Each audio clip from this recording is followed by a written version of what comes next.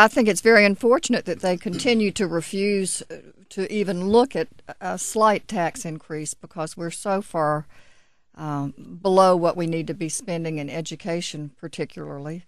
Uh, and we've raised fees in the juvenile justice area or the whole criminal justice area. And uh,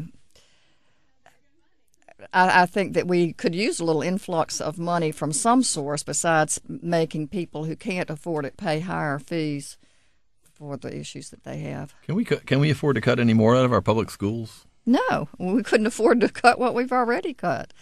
Absolutely not. We're destroying the infrastructure of our schools. You know, they talk about they've kept all the teachers, uh, and in some cases that's true. In many cases it's not. But what they have done is take away the support systems for the teachers, the counselors, the teacher assistants, uh, even maintenance or bus drivers or whatever. And I, the thing that bothers me is I hear the phrase, "Oh, well, you can't just throw money at the problem."